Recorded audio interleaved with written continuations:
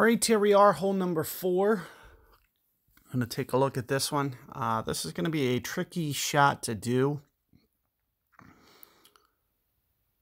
May want to be thinking about doing this with a sniper.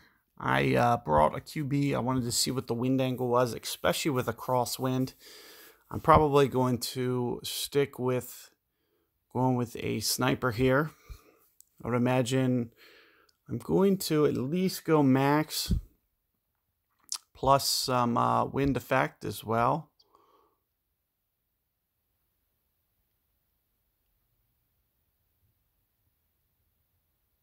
You can see that you kind of shoot down a little low. It's not very, uh, I'm sure we won't be towards max, but you'll still want to kind of do some kind of overplay, especially with uh, wind effect. As you can see, that is a bit light right there. Uh, it's going to be even harder with only wind three balls. So Kingmaker is going to be very challenging shot here. As you can see, I get the max wind. This is actually two in a row par threes that I got the max wind. So kind of annoying to have that happen.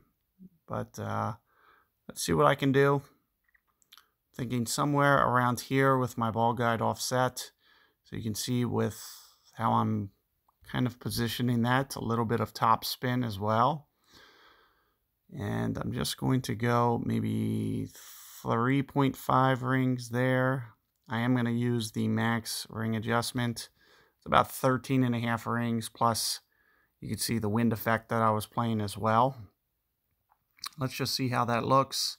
Looks just a tiny bit light. That's actually significantly light. So it's going to require a, you know, a, very large adjustment there for you to be able to uh, get that one.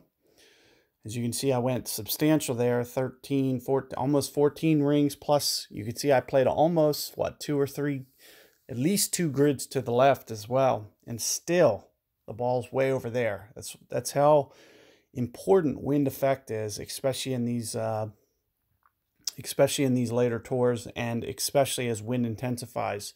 Keep in mind, you know, a 10 wind and a 12 wind, it's going to kind of change the amount that the wind effect is going to push the ball slightly. So, you know, that just kind of goes to show kind of how, um, you know, likely you'll be able to pull shots off and, um, you know, how tough that it is to re repeat on time and time basis because, you know, I might get a 12 wind, I may get a 10 wind. The wind effect isn't going to be the same for both. Um, so with that in mind, you know, you really have to be able to adapt and kind of change. You know, you might need to go two and a half green grids for or for a uh, 12.3 versus a 10.9. You may only have to go 2.3 or 2.2 grids of offsets, for example. You know, and those are just examples, but, you know, just keep that in mind that the amount that you'll need to go is going to need to vary. So you can't just do the same thing every time and uh, just try to hone in on that ring adjustment. So good luck there, and I'll see you guys on the next.